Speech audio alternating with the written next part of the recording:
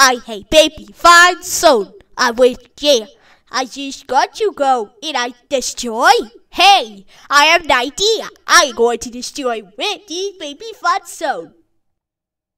Watcher, I want you to leave you you believe for today we are going to have a good concussion time. Roger, how dare you destroy Baby Fun Zone? He's one of the favorite transmission character. That's it. Ready for me? Yes. Now it'll give you concussion time.